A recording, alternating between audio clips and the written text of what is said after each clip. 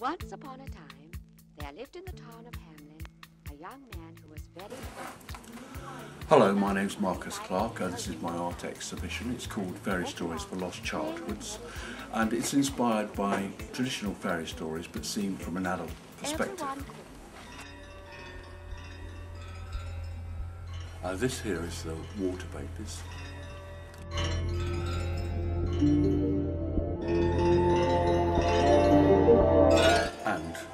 The traditional fairy story, the water babies, which actually I'd never heard of. In Yorkshire lived a little chimney sweep whose name was Tom.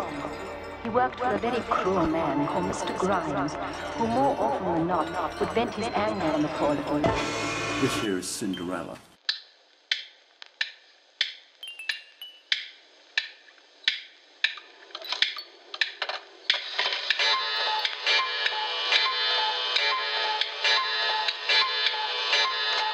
Seven o'clock, Cinderella?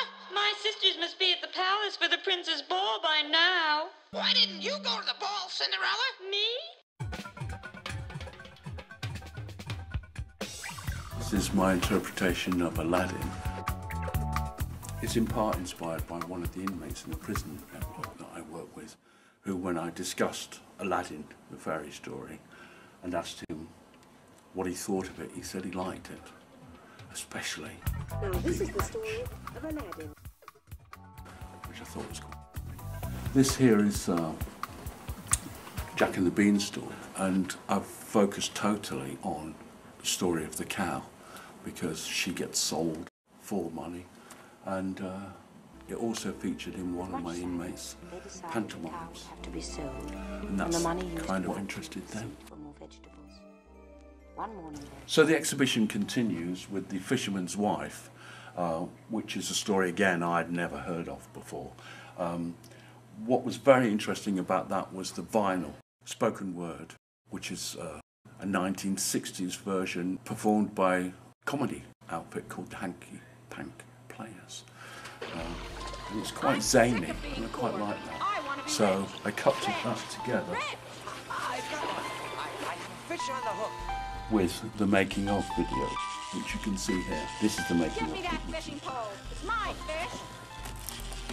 And people can come to the gallery and listen and see the making of videos. You've been fishing here on the beach all day, and you haven't caught a single fish. I'm doing my best, dear. You can't do anything right. Take me off the hook. Throw me back it's a big flounder, and it can talk. Throw me back. There was an old sow with three little pigs. And as she had not enough to keep, This one here is the Three Little Pigs, and as I explained in the information, um, it's the sheer butchery of the story I found quite interesting. But I also tried to make it quite funny with this uh, figure. Moving Mr. on.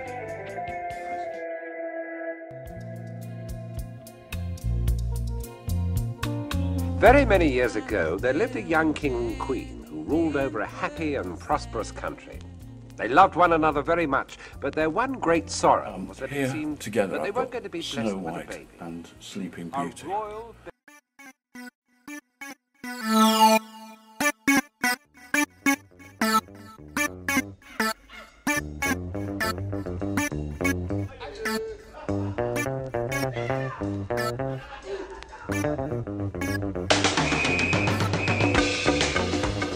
Very, very different, although in some respects they're very similar stories. Now Snow White's stepmother knows Snow White is not dead. The story of Goldilocks and the Three Bears.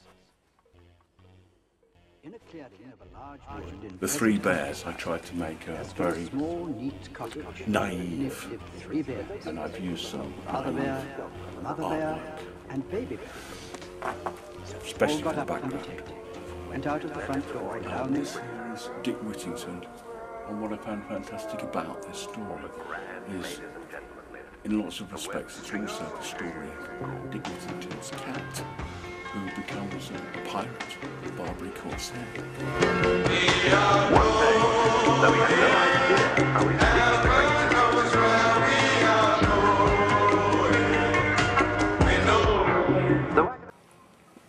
And here we have two more of the uh, fairy story artworks. This one's Rumpelstiltskin, a name not a lot of people know.